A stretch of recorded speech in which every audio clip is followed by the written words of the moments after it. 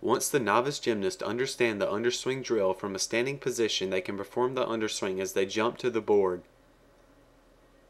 Although this simple drill may seem almost too easy at first, practicing a few repetitions of the drill may help the gymnast to master running hurdles.